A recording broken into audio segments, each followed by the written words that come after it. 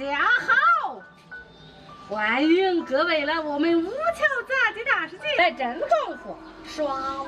我叫黄艳芬，今年六十一岁，是河北省非物质文化遗产独台戏的传承人。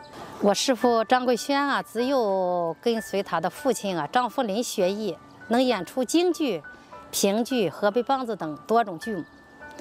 呃，师爷张凤林呢，曾经组建过木偶戏、呃大肘戏，是五桥木偶表演的代表性传承人物。独台戏啊，看起来简单，但是练起来呀，并不那么容易。压指、劈指等手指功都要练很长很长的时间。等练好了基本功，再拿起木偶，学习各个行当的操作技术，其中。最难练的就是表演口技的口琴子，非常的费力，而且一不小心还会咽下去，卡着很不舒服。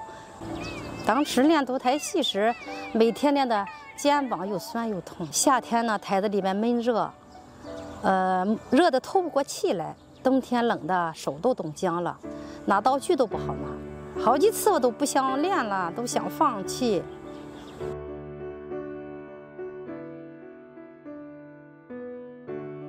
记得第一次表演独台戏是在一九九六年，当时面对那么多观众，我心里特别特别的紧张。一场戏下来，身上的汗都湿透了。是观众热烈的掌声给了我自信，也是让我这么多年坚持独台戏表演的动力。二零一三年，我被河北省文化厅授予省非物质文化遗产项目“吴桥杂技代表性传承人”。随着时代的发展啊。人们的这个娱乐方式也越来越多元化，这个独台戏这一传统的这个节目啊，嗯，像卖豆腐啊、老虎吃人啊，有点太通俗了。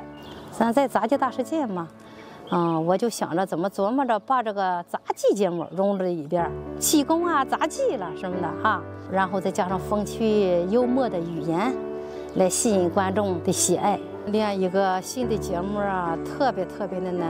我琢磨着再把咱这个杂技呀，呃，再练上几几个剧目。你比方说木人杂技这个转碟来说吧，哈，它必须得掌握平衡技巧。这一根签子，一个盘子，你上盘的时候非常非常的难，一天两天学不会的。他得掌握这个平衡技巧。有的时候盘子闹不好，一下就掉地下了。你平时拿手练啊，还好一点儿。你如果说带上这个小手带木偶，再加上口琴子，还得掌握平衡技巧，这个难度就大了。通过我不断的一遍一遍的反复练习吧，嗯，练了将近好几个月，才这个节目才能拿得出来啊，才能把这个平衡技巧掌握。吴桥独台戏啊，经过几代人的演出实践，逐渐形成了自己的艺术风格和体系。作为传承人，我将不断的研究创新啊，融入新的元素啊，让独台戏啊重新融入人们的日常生活，让更多的青年人喜欢它、学习它、传承它。